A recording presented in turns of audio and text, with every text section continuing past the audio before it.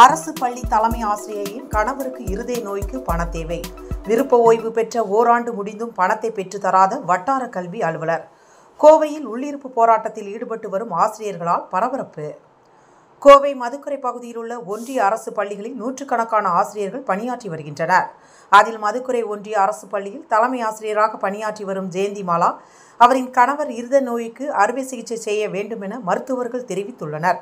இதனை அடுத்து குடும்ப சூழ்நிலை காரணமாக விருப்ப ஓய்வு பெற்றால் அதில் வரும் பணத்தை வைத்து கணவரின் மருத்துவ செலவிற்கு பயன்படும் என்று எண்ணிய ஆசிரியை விருப்ப ஓய்வு பெற்றார். விருப்ப ஓய்வு பணம் பெறுவதற்கு அப்பகுதியில் உள்ள வட்டார கல்வி அலுவலர் நேசமணி அந்த ஆசிரியருக்கு என்ஓசி வழங்காமல் உள்ளதால் விருப்ப ஓய்வு பெற்ற தலைமை ஆசிரியரின் பணி பலன்கள் ஓராண்டா ஓராண்டாகியும் கிடப்பில் உள்ளது.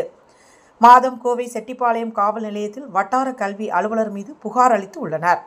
இதனை அடுத்து வட்டார கல்வி அலுவலர் நேசமணி நிலுவையில் உள்ள விஆர்எஸ் தொகையை பெற்று தருவதாக எழுதி பூர்வமாக எழுத்துப்பூர்வமாக செட்டிப்பாளையம் காவல் நிலையத்தில் உறுதியளித்துள்ளார் மேலும் அவர் விஆர்எஸ் பணம் பெற்றுக் கொடுக்க என்ஓசி அதற்குண்டான எந்த பணிகளையும் இதுவரை பெற்றுக்கொள்ளாத காரணத்தினால் ஆத்திரமடைந்த சக ஆசிரியர்கள் மதுக்கரை வட்டார கல்வி அலுவலர் நேசமணியை கண்டித்து இன்று பிற்பகல் இரண்டு மணி முதல் மதுக்கரை வட்டார கல்வி அலுவலகத்தில் பெண் ஆசிரியர்கள் உட்பட ஐம்பதுக்கும் மேற்பட்டோர் தலைமை ஆசிரியர் ஜெயந்தி மாலாவிற்கு உடனடியாக விருப்ப ஓய்வு தொகையை பெற்றுத்தர நடவடிக்கை எடுக்க வேண்டும் என்று தற்பொழுது வரை உள்ளே அமர்ந்து உள்ளீர்ப்பு போராட்டத்தில் ஈடுபட்டு வருவதால் பரபரப்பு ஏற்பட்டுள்ளது.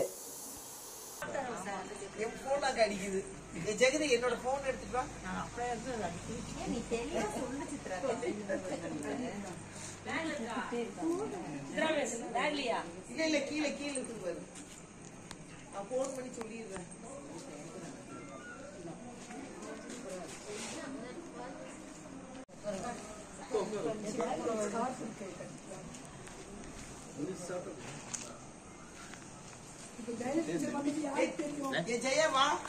ஏ